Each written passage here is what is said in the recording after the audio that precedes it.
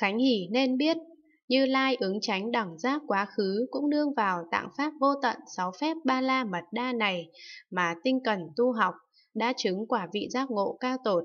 Như Lai ứng tránh đẳng giác vị Lai cũng nương vào tạng pháp vô tận, sáu phép ba la mật đa này mà tinh cần tu học sẽ chứng quả vị giác ngộ cao tột.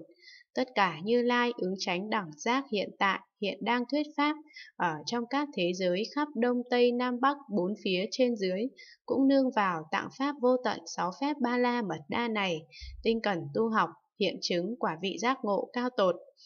Khánh Hỷ nên biết các chúng đệ tử của Như Lai ứng tránh đẳng giác quá khứ đều nương vào pháp tạng vô tận sáu phép ba la mật đa này, tinh cần tu học. Đối với cảnh giới Niết Bàn tuyệt đối mầu nhiệm đã nhập Niết Bàn, các chúng đệ tử của Như Lai ứng tránh đẳng giác vị Lai đều nương vào tạng pháp vô tận sáu phép ba la mật đa này, tinh cần tu học. Đối với cảnh giới Niết Bàn tuyệt đối mầu nhiệm sẽ nhập Niết Bàn. Các chúng đệ tử của tất cả Như Lai ứng tránh đẳng giác hiện tại ở trong các thế giới khắp Đông Tây Nam Bắc bốn phía trên dưới đều nương vào tạng pháp vô tận sáu phép ba la mật đa này, tinh cần tu học. Đối với cảnh giới Niết Bàn tuyệt đối mầu nhiệm đang nhập Niết Bàn. Lại nữa, này Khánh Hỷ, giả sử ông là người của Thanh Văn Thừa, nói Pháp Thanh Văn, do Pháp này, tất cả hữu tình ở trong thế giới Tam Thiên Đại Thiên đều đắc quả A-la-hán, thì còn chưa vì ta mà làm việc của đệ tử. Nếu ông có thể vì người trụ Bồ Tát Thừa mà tuyên thuyết một câu Pháp tương ưng bát nhã ba la mật đa sâu xa, thì mới gọi là vì ta mà làm việc của đệ tử. Đối với việc này, ta rất tùy hỷ hơn cả ông giáo hóa tất cả hữu tình trong thế giới tam thiên, đại thiên đều đắc quả A-la-hán.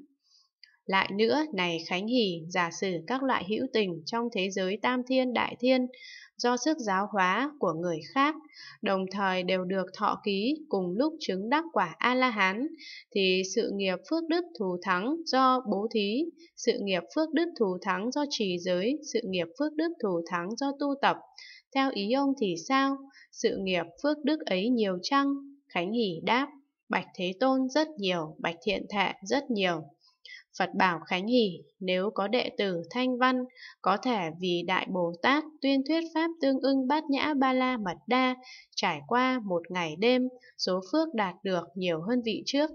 Khánh Hỷ nên biết không cả một ngày đêm, chỉ trải qua một ngày thôi, lại không cả một ngày, chỉ trải qua nửa ngày thôi, lại không cả nửa ngày, chỉ trải qua một giờ, lại không cả một giờ, chỉ trải qua khoảng bữa ăn thôi lại không cả một bữa ăn chỉ trải qua chốc lát thôi, lại không cả chốc lát chỉ thoáng chốc, lại không cả thoáng chốc chỉ trải qua khoảng nháy mắt, hơi thở.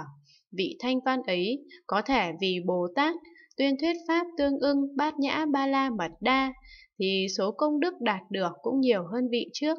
Vì sao? Vì số phước mà vị thanh văn này đạt được, vượt qua các thiện căn của tất cả thanh văn độc giác.